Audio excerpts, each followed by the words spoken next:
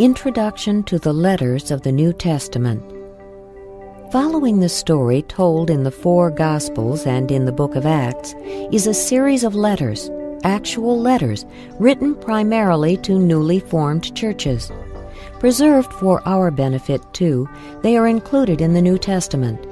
The apostles nourished the believers in these young churches through letters that were read and circulated to encourage right thinking about God, themselves, and others. The Apostle Paul wrote the first 13 of these letters, starting with a letter to the followers of Jesus who lived in Rome. Introduction to Romans The book of Romans was a letter sent to the young church in Rome. The Apostle Paul wrote the letter never having been there, but he looked forward to visiting. Others who had come to faith in Christ founded the church. This letter was written in AD 57 or 58 from the city of Corinth in Greece. This important letter is the most formal of Paul's letters. He writes like a skilled lawyer presenting the case for God's plan of salvation. The teaching was desperately needed by a church that had not previously received the instruction of an apostle. Romans is the most comprehensive, systematic statement of Christian faith in the Bible. It simply explains the gospel of God, yet its message is so profound that it can be pondered for a lifetime. Other themes include understanding God's holiness, defining what sin is, pointing out our need to be forgiven, showing how we can live better than we are, and explaining God's loving and fair ways of dealing with all people. Remember as you listen that Paul eventually did go to Rome. He went as a prisoner of the Roman government, where he eventually died. His faithfulness to the good news of the gospel of Jesus Christ and to the people whom he so dearly loved eventually cost him his life. But now, because of Paul's words and commitment, we too can know how to have peace with God and receive eternal life. Romans chapter 1 Paul, a servant of Christ Jesus, called to be an apostle and set apart for the gospel of God, the gospel he promised beforehand through his prophets in the Holy Scriptures, regarding his Son, who as to his human nature was a descendant of David, and who through the Spirit of holiness was declared with power to be the Son of God by his resurrection from the dead, Jesus Christ our Lord. Through him, and for his name's sake, we received grace and apostleship to call people from among all the Gentiles to the obedience that comes from faith. And you also are among those who are called to belong to Jesus Christ to all in Rome who are loved by God and called to be saints. Grace and peace to you from God our Father and from the Lord Jesus Christ. First, I thank my God through Jesus Christ for all of you, because your faith is being reported all over the world. God, whom I serve with my whole heart in preaching the gospel of his Son, is my witness how constantly I remember you in my prayers at all times and I pray that now, at last, by God's will, the way may be open for me to come to you. I long to see you so that I may impart to you some spiritual gift to make you strong. That is, that you and I may be mutually encouraged by each other's faith. I do not want you to be unaware, brothers, that I planned many times to come to you, but have been prevented from doing so until now, in order that I might have a harvest among you, just as I have had among the other Gentiles. I am obligated both to Greeks and non-Greeks, both to the wise and the foolish. That is why I am so eager to preach the gospel also to you who are at Rome.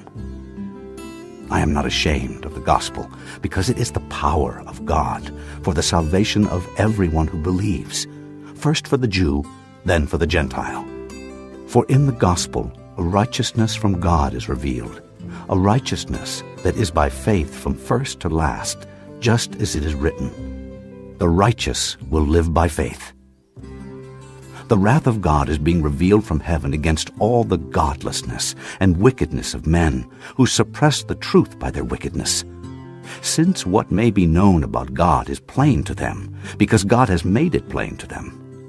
For since the creation of the world God's invisible qualities, his eternal power and divine nature have been clearly seen, being understood from what has been made, so that men are without excuse. For although they knew God, they neither glorified him as God nor gave thanks to him, but their thinking became futile, and their foolish hearts were darkened. Although they claimed to be wise, they became fools and exchanged the glory of the immortal God for images made to look like mortal men, and birds, and animals, and reptiles. Therefore God gave them over in the sinful desires of their hearts to sexual impurity, for the degrading of their bodies with one another. They exchanged the truth of God for a lie, and worshipped and served created things rather than the Creator, who is forever praised. Amen. Because of this, God gave them over to shameful lusts. Even their women exchanged natural relations for unnatural ones. In the same way, the men also abandoned natural relations with women and were inflamed with lust for one another. Men committed indecent acts with other men and received in themselves the due penalty for their perversion.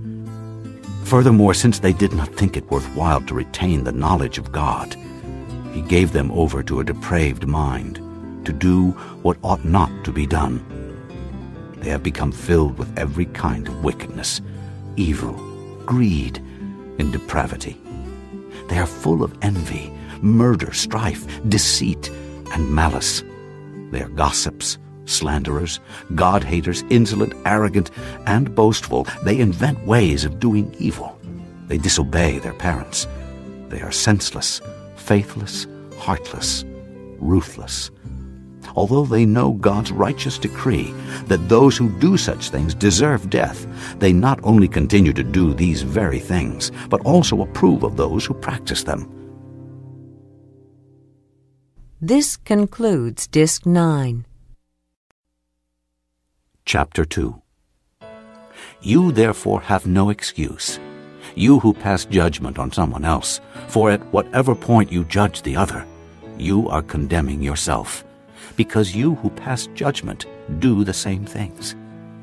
Now we know that God's judgment against those who do such things is based on truth.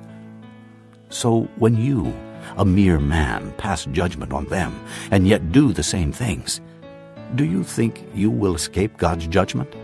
Or do you show contempt for the riches of his kindness, tolerance, and patience, not realizing that God's kindness leads you toward repentance? But because of your stubbornness and your unrepentant heart, you are storing up wrath against yourself for the day of God's wrath, when his righteous judgment will be revealed. God will give to each person according to what he has done to those who by persistence in doing good seek glory, honor, and immortality, he will give eternal life. But for those who are self-seeking and who reject the truth and follow evil, there will be wrath and anger. There will be trouble and distress for every human being who does evil, first for the Jew, then for the Gentile. But glory, honor, and peace for everyone who does good, first for the Jew, than for the Gentile, for God does not show favoritism. All who sin apart from the law will also perish apart from the law, and all who sin under the law will be judged by the law. For it is not those who hear the law who are righteous in God's sight, but it is those who obey the law who will be declared righteous. Indeed, when Gentiles who do not have the law do by nature things required by the law, they are a law for themselves even though they do not have the law, since they show that the requirements of the law are written on their hearts, their consciences also bearing witness, and their thoughts now accusing, now even defending them. This will take place on the day when God will judge men's secrets through Jesus Christ, as my gospel declares.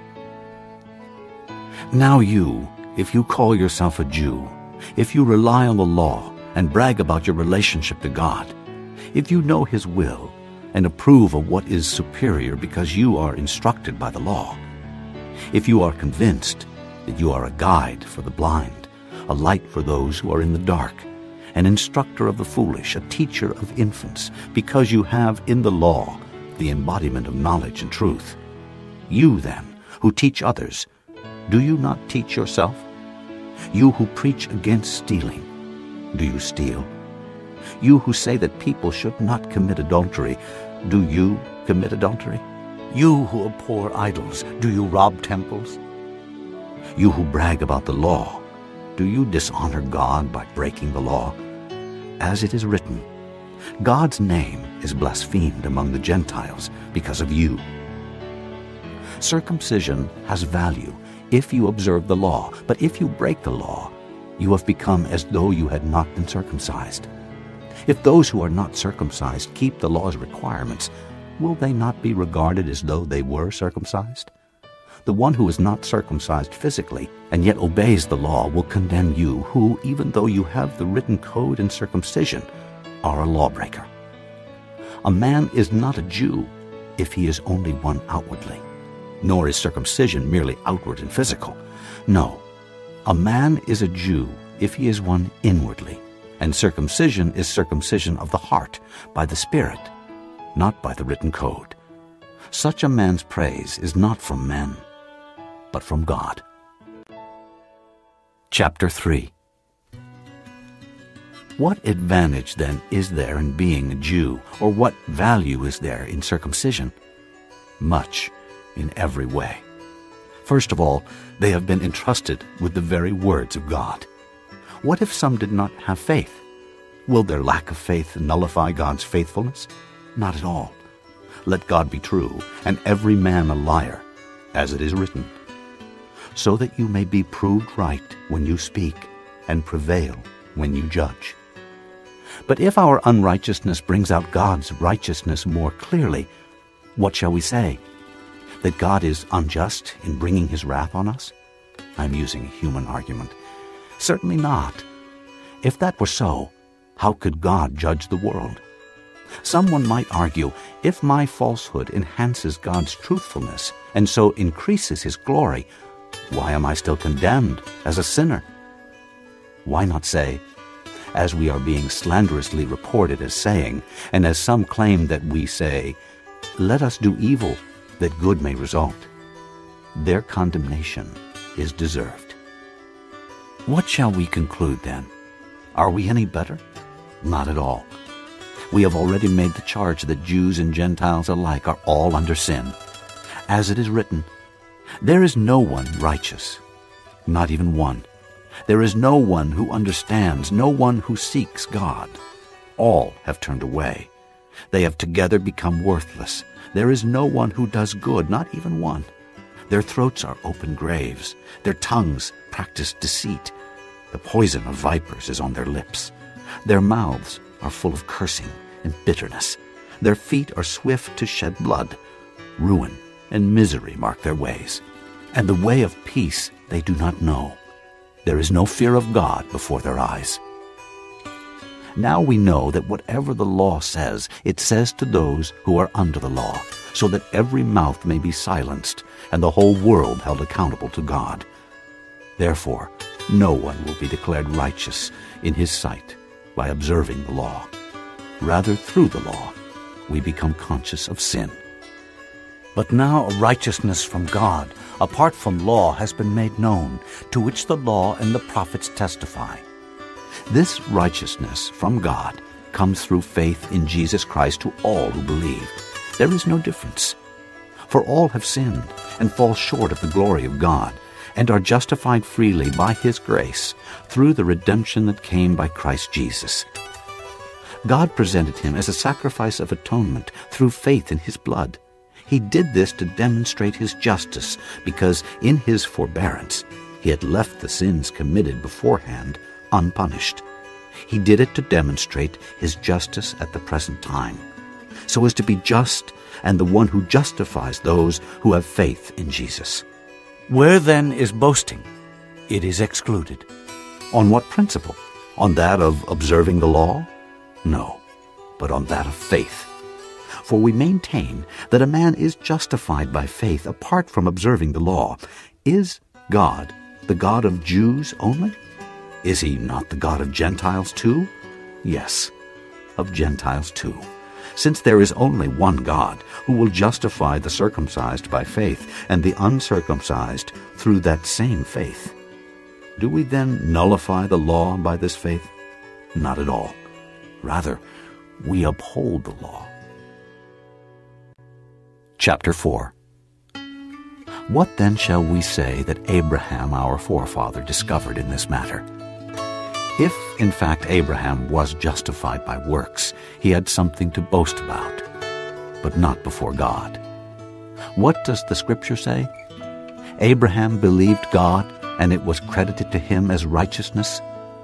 Now, when a man works, his wages are not credited to him as a gift, but as an obligation. However, to the man who does not work but trusts God who justifies the wicked, his faith is credited as righteousness. David says the same thing when he speaks of the blessedness of the man to whom God credits righteousness apart from works. Blessed are they whose transgressions are forgiven, whose sins are covered. Blessed is the man whose sin the Lord will never count against him. Is this blessedness only for the circumcised or also for the uncircumcised? We have been saying that Abraham's faith was credited to him as righteousness. Under what circumstances was it credited? Was it after he was circumcised or before? It was not after, but before. And he received the sign of circumcision, a seal of the righteousness that he had by faith while he was still uncircumcised. So then he is the father of all who believe, but have not been circumcised, in order that righteousness might be credited to them. And he is also the father of the circumcised, who not only are circumcised, but who also walk in the footsteps of the faith that our father Abraham had before he was circumcised. It was not through law that Abraham and his offspring received the promise that he would be heir of the world but through the righteousness that comes by faith. For if those who live by law are heirs, faith has no value, and the promise is worthless, because law brings wrath. And where there is no law, there is no transgression. Therefore, the promise comes by faith, so that it may be by grace and may be guaranteed to all Abraham's offspring, not only to those who are of the law, but also to those who are of the faith of Abraham. He is the Father of us all. As it is written, I have made you a father of many nations. He is our Father in the sight of God, in whom he believed, the God who gives life to the dead and calls things that are not as though they were. Against all hope, Abraham in hope believed and so became the father of many nations, just as it had been said to him, so shall your offspring be. Without weakening in his faith, he faced the fact that his body was as good as dead, since he was about a hundred years old, and that Sarah's womb was also dead. Yet he did not waver through unbelief regarding the promise of God, but was strengthened in his faith and gave glory to God, being fully persuaded that God had power to do what he had promised. This is why it was credited to him as righteousness. The words, it was credited to him, were written not for him alone, but also for us, to whom God will credit righteousness, for us who believe in him, who raised Jesus our Lord from the dead. He was delivered over to death for our sins and was raised to life for our justification. Chapter 5 Therefore, since we have been justified through faith, we have peace with God through our Lord Jesus Christ, through whom we have gained access by faith into this grace in which we now stand. And we rejoice in the hope of the glory of God. Not only so, but we also rejoice in our sufferings, because we know that suffering produces perseverance. Perseverance, character, and character, hope and hope does not disappoint us because God has poured out his love into our hearts by the Holy Spirit, whom he has given us. You see, at just the right time, when we were still powerless, Christ died for the ungodly. Very rarely will anyone die for a righteous man, though for a good man someone might possibly dare to die. But God demonstrates his own love for us in this. While we were still sinners, Christ died for us. Since we have now been justified by his blood, how much more shall we be saved from God's wrath through him? For if, when we were God's enemies, we were reconciled to him through the death of his Son, how much more, having been reconciled, shall we be saved through his life? Not only is this so, but we also rejoice in God through our Lord Jesus Christ, through whom we have now received reconciliation. Therefore, just as sin entered the world through one man, and death through sin, and in this way death came to all men, because all sinned, for before the law was given, sin was in the world. But sin is not taken into account when there is no law. Nevertheless, death reigned from the time of Adam to the time of Moses, even over those who did not sin by breaking a command, as did Adam, who was a pattern of the one to come. But the gift is not like the trespass. For if the many died by the trespass of the one man, how much more did God's grace and the gift that came by the grace of the one man, Jesus Christ, overflow to the many?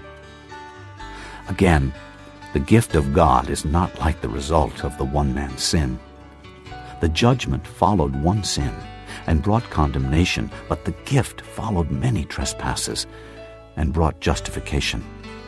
For if by the trespass of the one man death reigned through that one man, how much more will those who receive God's abundant provision of grace and of the gift of righteousness reign in life through the one man, Jesus Christ? Consequently, just as the result of one trespass was condemnation for all men, so also the result of one act of righteousness was justification that brings life for all men. For just as through the disobedience of the one man the many were made sinners, so also through the obedience of the one man the many will be made righteous. The law was added so that the trespass might increase.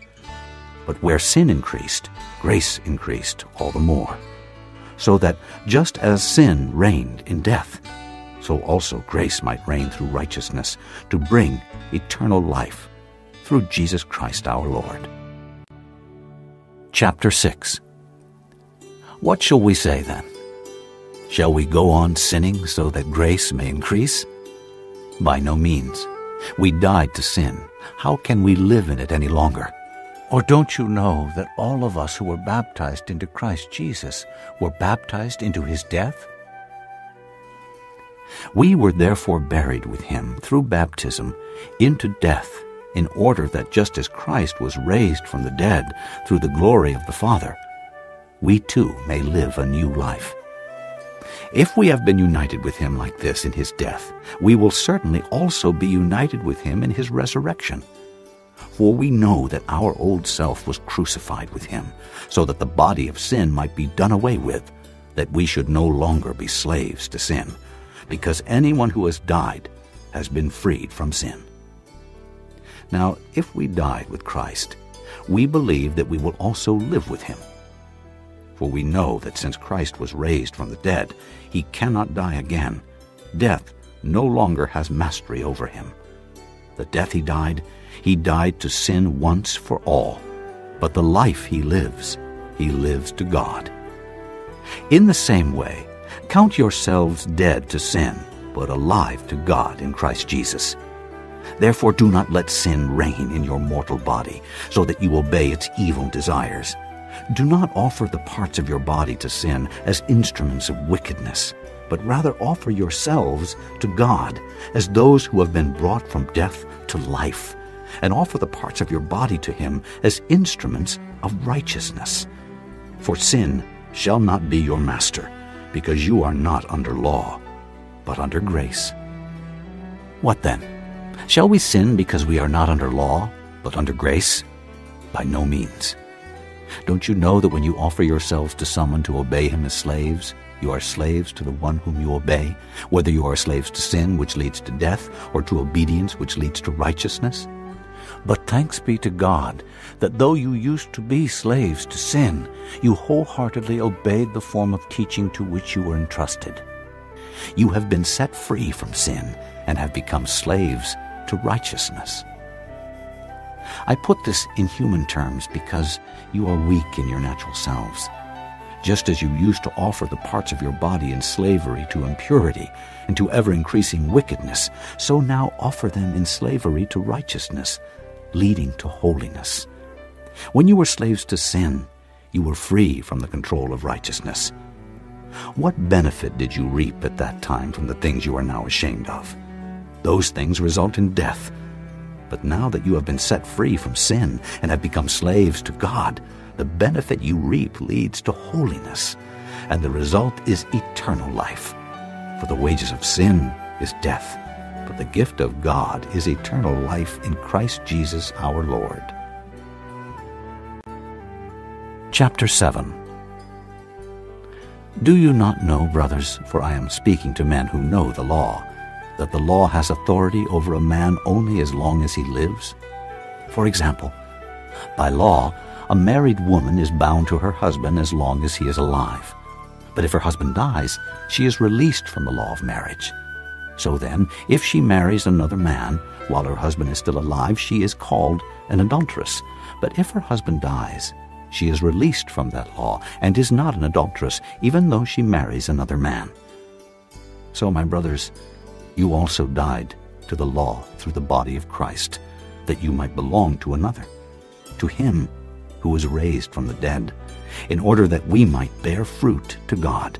For when we were controlled by the sinful nature, the sinful passions aroused by the law were at work in our bodies, so that we bore fruit for death.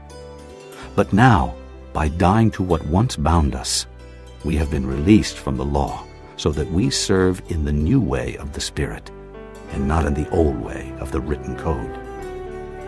What shall we say then? Is the law sin? Certainly not.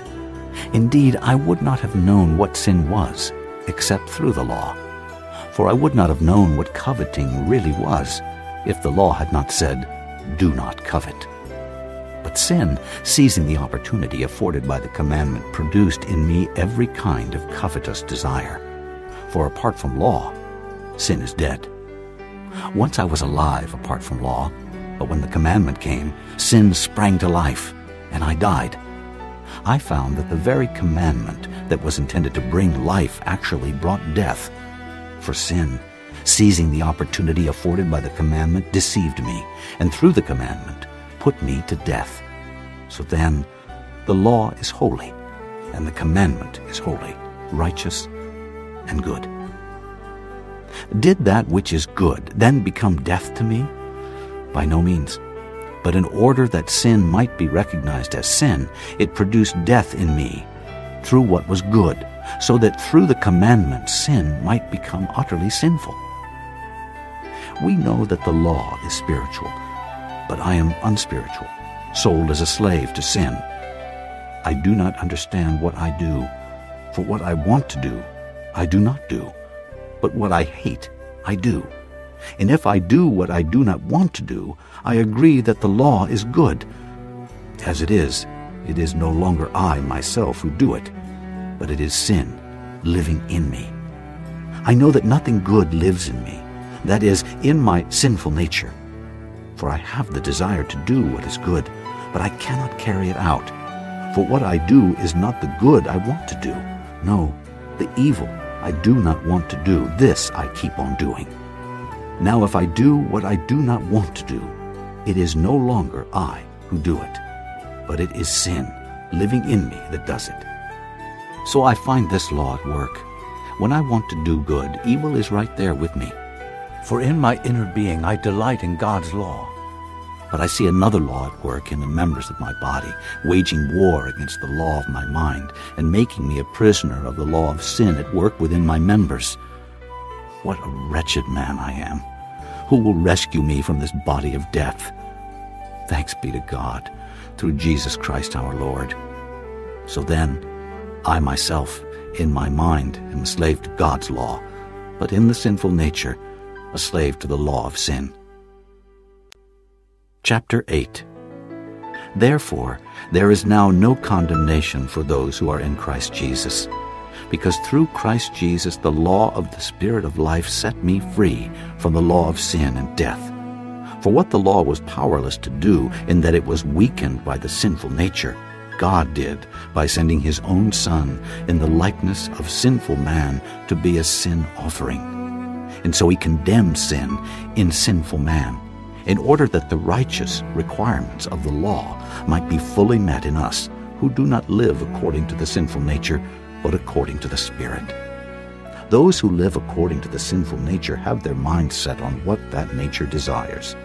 But those who live in accordance with the Spirit have their mind set on what the Spirit desires. The mind of sinful man is death, but the mind controlled by the Spirit is life and peace. The sinful mind is hostile to God. It does not submit to God's law, nor can it do so.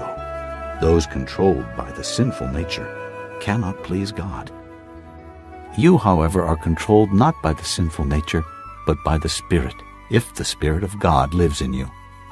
And if anyone does not have the Spirit of Christ, he does not belong to Christ. But if Christ is in you, your body is dead because of sin, yet your spirit is alive because of righteousness. And if the Spirit of him who raised Jesus from the dead is living in you, he who raised Christ from the dead will also give life to your mortal bodies through his Spirit who lives in you. Therefore, brothers, we have an obligation but it is not to the sinful nature to live according to it. For if you live according to the sinful nature, you will die. But if by the Spirit you put to death the misdeeds of the body, you will live. Because those who are led by the Spirit of God are sons of God. For you did not receive a spirit that makes you a slave again to fear, but you received the spirit of sonship. And by him we cry, Abba, Father. The Spirit Himself testifies with our spirit that we are God's children. Now, if we are children, then we are heirs, heirs of God and co-heirs with Christ, if indeed we share in His sufferings, in order that we may also share in His glory. I consider that our present sufferings are not worth comparing with the glory that will be revealed in us. The creation waits in eager expectation for the sons of God to be revealed. For the creation was subjected to frustration not by its own choice, but by the will of the one who subjected it, in hope that the creation itself will be liberated from its bondage to decay and brought into the glorious freedom of the children of God. We know that the whole creation has been groaning as in the pains of childbirth right up to the present time. And not only so, but we ourselves, who have the first fruits of the Spirit, groan inwardly as we wait eagerly for our adoption as sons, the redemption of our bodies. For in this hope we were saved, but hope that is seen is no hope at all. Who hopes for what he already has? But if we hope for what we do not yet have, we wait for it patiently. In the same way, the Spirit helps us in our weakness we do not know what we ought to pray for, but the Spirit Himself intercedes for us with groans that words cannot express. And He who searches our hearts knows the mind of the Spirit, because the Spirit intercedes for the saints in accordance with God's will. And we know that in all things God works for the good of those who love Him, who have been called according to His purpose.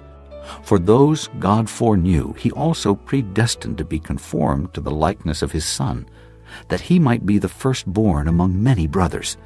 And those he predestined, he also called. Those he called, he also justified.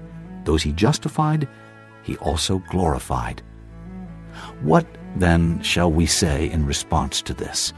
If God is for us, who can be against us? He who did not spare his own son, but gave him up for us all, how will he not also, along with him, graciously give us all things? Who will bring any charge against those whom God has chosen? It is God who justifies. Who is he that condemns? Christ Jesus, who died, more than that, who was raised to life, is at the right hand of God, and is also interceding for us. Who shall separate us from the love of Christ? Shall trouble or hardship, or persecution, or famine, or nakedness, or danger, or sword? As it is written, For your sake we face death all day long. We are considered as sheep to be slaughtered. No, in all these things we are more than conquerors through him who loved us. For I am convinced that neither death nor life, neither angels nor demons, neither the present nor the future, nor any powers, neither height nor depth, nor anything else in all creation will be able to separate us from the love of God that is in Christ Jesus our Lord. Chapter 9 I speak the truth in Christ. I am not lying. My conscience confirms it in the Holy Spirit. I have great sorrow and unceasing anguish in my heart. For I could wish that I myself were cursed and cut off from Christ for the sake of my brothers, those of my own race, the people of Israel. Theirs is the adoption as sons. Theirs the divine glory, the covenants, the receiving of the law, the temple worship, and the promises. Theirs are the patriarchs, and from them is traced the human ancestry of Christ, who is God over all, forever praised. Amen. It is not as though God's word had failed, for not all who are descended from Israel are Israel, nor because they are his descendants are they all Abraham's children. On the contrary, it is through Isaac that your offspring will be reckoned. In other words, it is not the natural children who are God's children, but it is the children of the promise who are regarded as Abraham's offspring. For this was how the promise was stated At the appointed time, I will return, and Sarah will have a son. Not only that, but Rebekah's children had one and the same father, our father Isaac. Yet before the twins were born, or had done anything good or bad, in order that God's purpose in election might stand, not by works, but by him who calls. She was told, The older will serve the younger. Just as it is written, Jacob I loved, but Esau I hated. What then shall we say? Is God unjust? Not at all. For he says to Moses, I will have mercy on whom I have mercy, and I will have compassion on whom I have compassion. It does not therefore depend on man's desire or effort, but on God's mercy. For the Scripture says to Pharaoh, I raised you up for this very purpose, that I might display my power in you, and that my name might be proclaimed in all the earth. Therefore God has mercy on whom he wants to have mercy, and he hardens whom he wants to harden. One of you will say to me, Then why does God still blame us? For who resists his will? But who are you, O man, to talk back to God? Shall what is formed say to him who formed it, Why did you make me like this? Does not the potter have the right to make out of the same lump of clay some pottery for noble purposes and some for common use? What if God, choosing to show his wrath and make his power known, bore with great patience the objects of his wrath prepared for destruction? What if he did this to make the riches of his glory known to the objects of his mercy, whom he prepared in advance for glory, even us, whom he also called not only from the Jews, but also from the Gentiles? As he says in Hosea, I will call them my people who are not my people and I will call her my loved one, who is not my loved one. And it will happen that in the very place where it was said to them, You are not my people, they will be called sons of the living God. Isaiah cries out concerning Israel, Though the number of the Israelites be like the sand by the sea, only the remnant will be saved. For the Lord will carry out his sentence on earth with speed and finality. It is just as Isaiah said previously. Unless the Lord Almighty had left us descendants, we would have become like Sodom. We would have been like Gomorrah. What then shall we say? That the Gentiles who did not pursue righteousness have obtained it, a righteousness that is by faith? But Israel, who pursued a law of righteousness, has not attained it? Why not? because they pursued it not by faith, but as if it were by works. They stumbled over the stumbling stone, as it is written. See, I lay in Zion a stone that causes men to stumble, and a rock that makes them fall, and the one who trusts in him will never be put to shame. Chapter 10 Brothers, my heart's desire and prayer to God for the Israelites is that they may be saved. For I can testify about them that they are zealous for God, but their zeal is not based on knowledge. Since they did not know the righteousness that comes from God and sought to establish their own, they did not submit to God's righteousness. Christ is the end of the law, so that there may be righteousness for everyone who believes. Moses describes in this way the righteousness that is by the law. The man who does these things will live by them. But the righteousness that is by faith says, Do not say in your heart, Who will ascend into heaven? That is, to bring Christ down. Or who will descend into the deep? That is, to bring Christ up from the dead. But what does it say? The word is near you. It is in your mouth and in your heart. That is, the word of faith we are proclaiming. That if you confess with your mouth Jesus is Lord and believe in your heart that God raised him from the dead, you will be saved. For it is with your heart that you believe and are justified, and it is with your mouth that you confess and are saved. As the scripture says, anyone who trusts in him will never be put to shame. For there is no difference between Jew and Gentile. The same Lord is Lord of all and richly blesses all who call on him. For everyone who calls on the name of the Lord will be saved. How then can they call on the one they have not believed in? And how can they believe in the one of whom they have not heard? And how can they hear without someone preaching to them?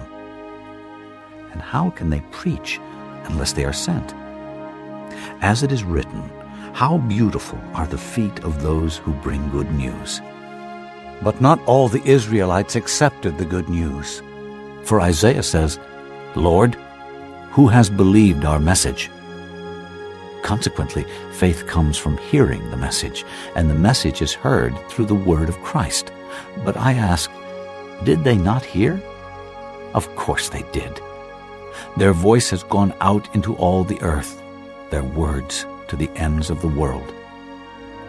Again I ask, did Israel not understand? First, Moses says, I will make you envious by those who are not a nation. I will make you angry by a nation that has no understanding. And Isaiah boldly says, I was found by those who did not seek me. I revealed myself to those who did not ask for me. But concerning Israel, he says, All day long I have held out my hands to a disobedient and obstinate people.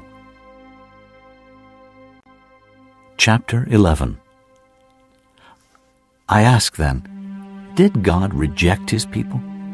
By no means.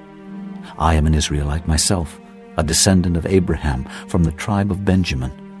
God did not reject his people, whom he foreknew. Don't you know what the scripture says in the passage about Elijah? how he appealed to God against Israel? Lord, they have killed your prophets and torn down your altars. I am the only one left, and they are trying to kill me. And what was God's answer to him? I have reserved for myself 7,000 who have not bowed the knee to Baal. So too, at the present time, there is a remnant chosen by grace, and if by grace, then it is no longer by works. If it were, grace would no longer be grace. What then? What Israel sought so earnestly it did not obtain, but the elect did. The others were hardened. As it is written, God gave them a spirit of stupor, eyes so that they could not see, and ears so that they could not hear, to this very day. And David says, May their table become a snare and a trap, a stumbling block and a retribution for them. May their eyes be darkened so they cannot see, and their backs be bent forever. Again I ask, Did they stumble so as to fall beyond recovery? Not at all. Rather, because of their transgression, salvation has come to the Gentiles to make Israel envious. But if their transgression means riches for the world, and their loss means riches for the Gentiles, how much greater riches will their fullness bring? I am talking to you Gentiles. Inasmuch as I am the apostle to the Gentiles, I make much of my ministry, in the hope that I may somehow arouse my own people to envy and save some of them. For if their rejection is the reconciliation of the world, what will their acceptance be but life from the dead? If the part of the dough offered as first fruits is holy, then the whole batch is holy. If the root is holy, so are the branches. If some of the branches have been broken off, and you, though a wild olive shoot, have been grafted in among the others, and now share in the nourishing sap from the olive root, do not boast over those branches. If you do, consider this. You do not support the root, but the root supports you. You will say then, Branches were broken off so that I could be grafted in. Granted, but they were broken off because of unbelief, and you stand by faith. Do not be arrogant, but be afraid. For if God did not spare the natural branches, he will not spare you either. Consider therefore the kindness and sternness of God. Sternness to those who fell, but kindness to you, provided that you continue in his kindness. Otherwise, you also will be cut off. And if they do not persist in unbelief, they will be grafted in, for God is able to graft them in again.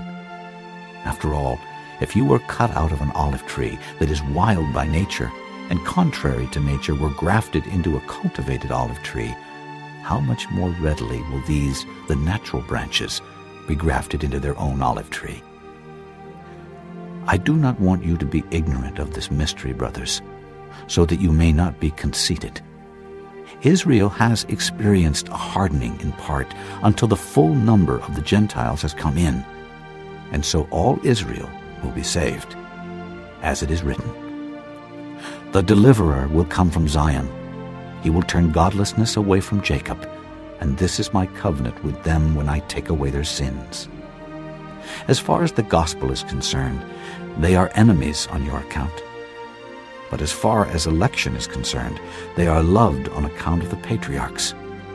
For God's gifts and his call are irrevocable just as you, who were at one time disobedient to God, have now received mercy as a result of their disobedience. So they too have now become disobedient, in order that they too may now receive mercy as a result of God's mercy to you. For God has bound all men over to disobedience, so that he may have mercy on them all. Oh, the depth of the riches of the wisdom and knowledge of God! How unsearchable his judgments and his paths beyond tracing out. Who has known the mind of the Lord? Or who has been his counselor? Who has ever given to God that God should repay him? For from him and through him and to him are all things. To him be the glory forever. Amen. Chapter 12 Therefore, I urge you, brothers, in view of God's mercy, to offer your bodies as living sacrifices, holy and pleasing to God. This is your spiritual act of worship. Do not conform any longer to the pattern of this world, but be transformed by the renewing of your mind. Then you will be able to test and approve what God's will is, his good, pleasing, and perfect will. For by the grace given me, I say to every one of you, do not think of yourself more highly than you ought, but rather think of yourself with sober judgment in accordance with the measure of faith God has given you.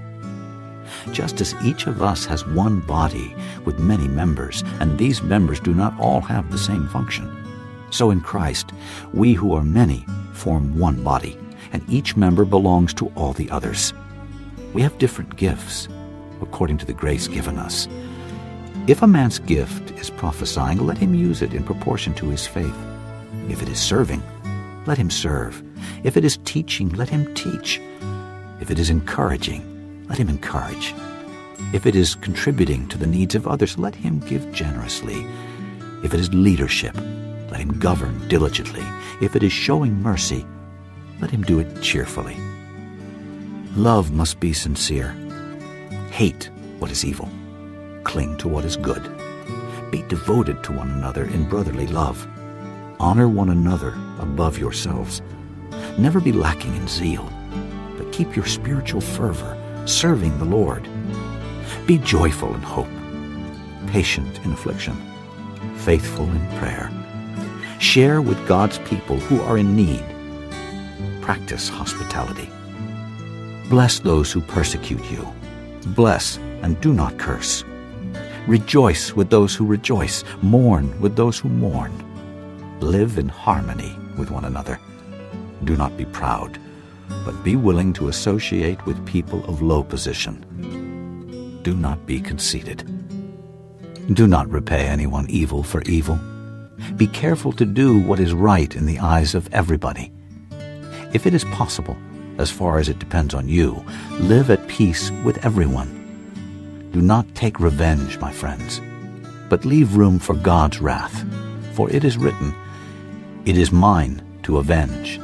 I will repay, says the Lord. On the contrary, if your enemy is hungry, feed him. If he is thirsty, give him something to drink. In doing this, you will heap burning coals on his head. Do not be overcome by evil, but overcome evil with good.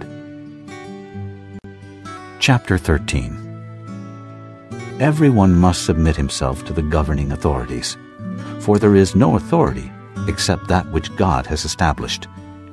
The authorities that exist have been established by God. Consequently, he who rebels against the authority is rebelling against what God has instituted, and those who do so will bring judgment on themselves. For rulers hold no terror for those who do right, but for those who do wrong. Do you want to be free from fear of the one in authority? Then do what is right, and he will commend you. For he is God's servant to do you good. But if you do wrong, be afraid, for he does not bear the sword for nothing. He is God's servant, an agent of wrath to bring punishment on the wrongdoer. Therefore, it is necessary to submit to the authorities, not only because of possible punishment, but also because of conscience. This is also why you pay taxes. For the authorities are God's servants, who give their full time to governing. Give everyone what you owe him. If you owe taxes, pay taxes. If revenue, then revenue. If respect, then respect. If honor, then honor. Let no debt remain outstanding except the continuing debt to love one another, for he who loves his fellow man has fulfilled the law. The commandments. Do not commit adultery, do not murder, do not steal, do not covet, and whatever other commandment there may be are summed up in this one rule. Love your neighbor as yourself. Love does no harm to its neighbor. Therefore, love is the fulfillment of the law. And do this, understanding the present time. The hour has come for you to wake up from your slumber, because our salvation is nearer now than when we first believed. The night is nearly over. The day is almost here. So let us put aside the deeds of darkness and put on the armor of light. Let us behave decently as in the daytime, not in orgies and drunkenness, not in sexual immorality and debauchery, not in dissension and jealousy. Rather, clothe yourselves with the Lord Jesus Christ, and do not think about how to gratify the desires of the sinful nature. Chapter 14 Accept him whose faith is weak, without passing judgment on disputable matters one man's faith allows him to eat everything, but another man whose faith is weak eats only vegetables. The man who eats everything must not look down on him who does not, and the man who does not eat everything must not condemn the man who does, for God has accepted him. Who are you to judge someone else's servant? To his own master he stands or falls. and he will stand, for the Lord is able to make him stand. One man considers one day more sacred than another. Another man considers every day alike. Each one should be fully convinced in his own mind. He who regards one day as special does so to the Lord. He who eats meat eats to the Lord, for he gives thanks to God. And he who abstains does so to the Lord and gives thanks to God. For none of us lives to himself alone, and none of us dies to himself alone. If we live, we live to the Lord, and if we die, we die to the Lord. So whether we live or die, we belong to the Lord. For this very reason, Christ died and returned to life so that he might be the Lord of both the dead and the living. You then, why do you judge your brother? Or why do you look down on your brother? For we will all stand before God's judgment seat. It is written, As surely as I live, says the Lord, every knee will bow before me, every tongue will confess to God. So then each of us will give an account of himself to God. Therefore let us stop passing judgment on one another. Instead, make up your mind not to put any stumbling block or obstacle in your brother's way. As one who is in the Lord Jesus, I am fully convinced that no food is unclean in itself. But if anyone regards something as unclean, then for him it is unclean. If your brother is distressed because of what you eat, you are no longer acting in love. Do not by your eating destroy your brother for whom Christ died. Do not allow what you consider good to be spoken of as evil, for the kingdom of God is not a matter of eating and drinking, but of righteousness, peace, and joy in the Holy Spirit, because anyone who serves Christ in this way is pleasing to God and approved by men. Let us therefore make every effort to do what leads to peace and to mutual edification. Do not destroy the work of God for the sake of food. All food is clean, but it is wrong for a man to eat anything that causes someone else to stumble. It is better not to eat meat, or drink wine, or to do anything else that will cause your brother to fall. So whatever you believe about these things, keep between yourself and God. Blessed is the man who does not condemn himself by what he approves. But the man who has doubts is condemned if he eats, because his eating is not from faith, and everything that does not come from faith is sin. Chapter 15 We who are strong ought to bear with the failings of the weak, and not to please ourselves. Each of us should please his neighbor for his good, to build him up. For even Christ did not please himself, but, as it is written, the insults of those who insult you have fallen on me. For everything that was written in the past was written to teach us, so that through endurance and the encouragement of the Scriptures we might have hope. May the God who gives endurance and encouragement give you a spirit of unity among yourselves as you follow Christ Jesus so that with one heart and mouth you may glorify the God and Father of our Lord Jesus Christ. Accept one another then, just as Christ accepted you in order to bring praise to God. For I tell you that Christ has become a servant of the Jews on behalf of God's truth to confirm the promises made to the patriarchs, so that the Gentiles may glorify God for his mercy, as it is written, Therefore I will praise you among the Gentiles. I will sing hymns to your name. Again it says, Rejoice, O Gentiles, with his people. And again, Praise the Lord, all you Gentiles, and sing praises to him, all you peoples.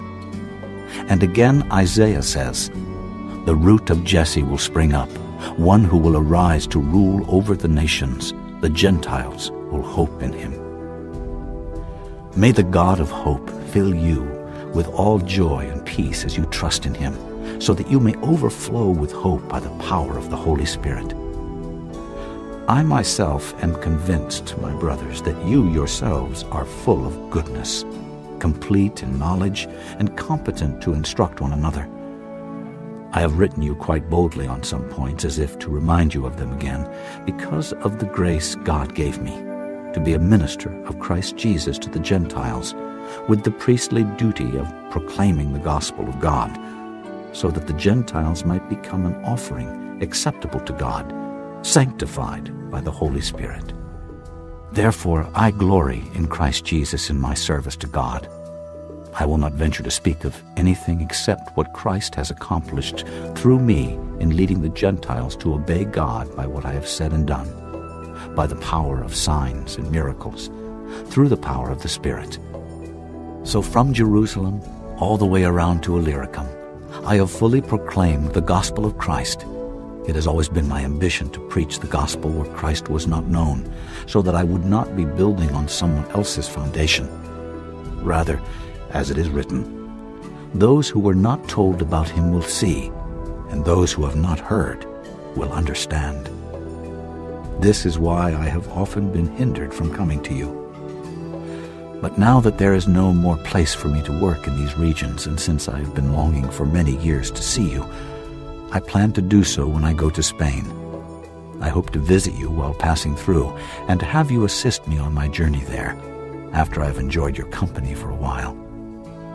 Now, however, I am on my way to Jerusalem in the service of the saints there. For Macedonia and Achaia were pleased to make a contribution for the poor among the saints in Jerusalem. They were pleased to do it, and indeed they owe it to them. For if the Gentiles have shared in the Jews' spiritual blessings, they owe it to the Jews to share with them their material blessings. So after I've completed this task and have made sure that they have received this fruit, I will go to Spain and visit you on the way. I know that when I come to you, I will come in the full measure of the blessing of Christ. I urge you, brothers, by our Lord Jesus Christ and by the love of the Spirit, to join me in my struggle by praying to God for me. Pray that I may be rescued from the unbelievers in Judea, and that my service in Jerusalem may be acceptable to the saints there, so that by God's will I may come to you with joy, and together with you be refreshed. The God of peace be with you all. Amen. Chapter 16 I commend to you our sister Phoebe, a servant of the church in Cenchrea. I ask you to receive her in the Lord in a way worthy of the saints, and to give her any help she may need from you, for she has been a great help to many people, including me. Greet Priscilla and Aquila, my fellow workers in Christ Jesus. They risked their lives for me not only I, but all the churches of the Gentiles are grateful to them. Greet also the church that meets at their house. Greet my dear friend Epenetus, who was the first convert to Christ in the province of Asia. Greet Mary, who worked very hard for you. Greet Andronicus and Junias, my relatives who have been in prison with me. They are outstanding among the apostles, and they were in Christ before I was. Greet Ampliatus, whom I love in the Lord. Greet Urbanus, our fellow worker in Christ, and my dear friend Stachys. Greet Apelles, tested and approved in Christ. Greet those who belong to the household of Aristobulus. Greet Herodion, my relative. Greet those in the households of Narcissus, who are in the Lord. Greet Tryphena and Tryphosa, those women who work hard in the Lord. Greet my dear friend Persis, another woman who has worked very hard in the Lord. Greet Rufus, chosen in the Lord, and his mother, who has been a mother to me too. Greet Asyncritus, Phlegon, Hermes, Patrobas, Hermas, and the brothers with them. Greet Philologus, Julia, Nereus and his sister, and Olympas, and all the saints with them. Greet one another with a holy kiss. All the churches of Christ send greetings. I urge you, brothers, to watch out for those who cause divisions and put obstacles in your way that are contrary to the teaching you have learned. Keep away from them, for such people are not serving our Lord Christ, but their own appetites. By smooth talk and flattery, they deceive the minds of naive people. Everyone has heard about your obedience, so I am full of joy over you but I want you to be wise about what is good and innocent about what is evil. The God of peace will soon crush Satan under your feet. The grace of our Lord Jesus be with you. Timothy, my fellow worker, sends his greetings to you, as do Lucius, Jason, and Sosipater, my relatives. I, Tertius, who wrote down this letter, greet you in the Lord. Gaius, whose hospitality I and the whole church here enjoy, sends you his greetings. Erastus, who is the city's director of public works, and our brother Quartus send you their greetings. Now to him who was able to establish you by my gospel and the proclamation of Jesus Christ, according to the revelation of the mystery hidden for long ages past, but now revealed and made known through the prophetic writings by the command of the eternal God, so that all nations might believe and obey him. To the only wise God be glory forever through Jesus Christ. Amen.